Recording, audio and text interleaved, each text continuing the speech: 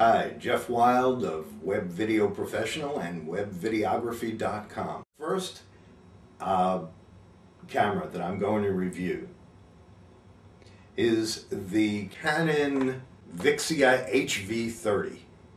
Now it's high def, of course. As I said, I'm only reviewing high def camcorders at this point.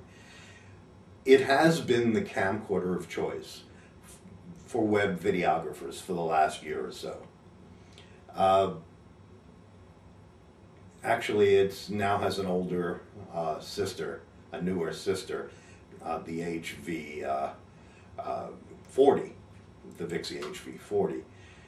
But in, as far as I can tell, the uh, there's not that much difference in terms of features and um, if I encounter any, I'll let you know. But meanwhile, I'm going to review both the 30 and the 40 in this brief video. Uh, a lot of it I'm going to read to you, uh, and others, uh, other information I'll put up. You'll see.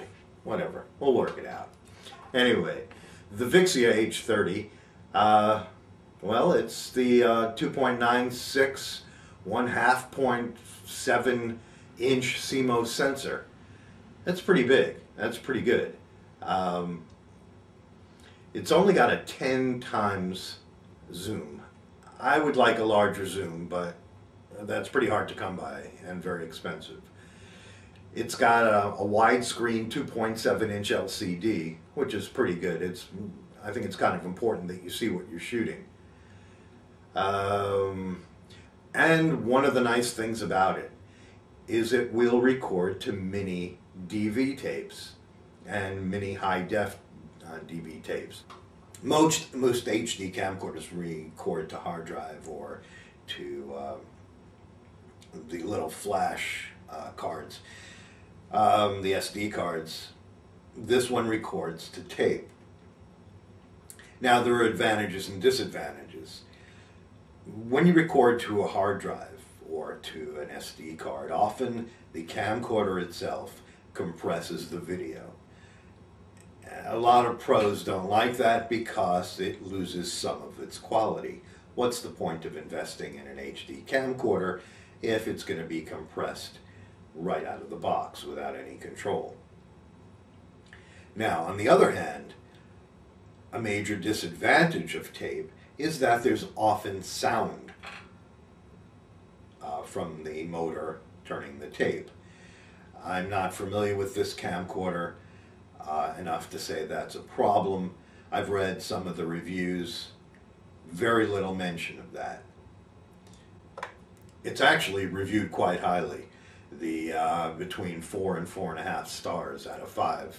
So that is good to know. Uh, let's see what else. Um, it records in true 1920 by 1080 um, resolution. I'm really kind of happy about the tape. If the motor sound isn't bad, that's really nice. Oh, it also has something that I have on my Panasonic Pro unit. It has the ability to record to 24 frames a second, 24p progressive, which is film-like, so that you can actually shoot movies and they look like that soft, you know, quality that films have. It's a good feature. I've enjoyed it in my uh, Panasonic uh, AG uh, DVX 100 for quite some time. Anyway, as I said, the uh, 24 frame a second mode is pretty interesting in that it emulates film fairly well and uh, gives you that kind of soft, tone that uh, people like when they're watching movies. So if you want to do some independent filmmaking, that's a nice feature.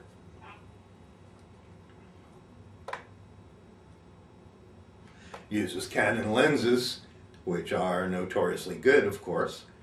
Um, image stabilization, even at long distances. This is essential. Um, your hand shakes if you're holding a small camcorder, and, and it shakes pretty badly.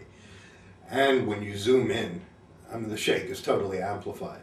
supposedly, according to what I'm reading here, both um, from the company propaganda and reviewers, the image stabilization works pretty well even at long distances. So that's a definite plus. It's got autofocus.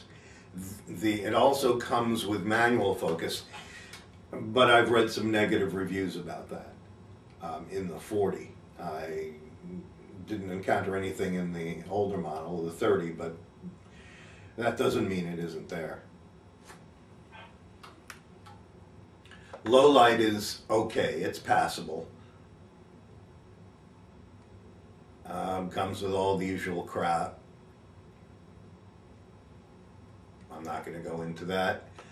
Um, this, as I said, has been the camcorder of choice, the HD camcorder of choice for uh, web video professionals for about a year. And the new model, the 40, seems to be taking over for that. It's relatively inexpensive. It's kind of the low end of the HD scale. I don't know what it's going for everywhere, but uh, I think you can get it at B&H for like $700 or thereabouts. Um, fairly good price. So check into that. Make sure you read the reviews and make sure it's to your liking. Oh, for more information about this camcorder and others, and uh, what's going on in the web video, web videography world, visit webvideography.com. Thanks.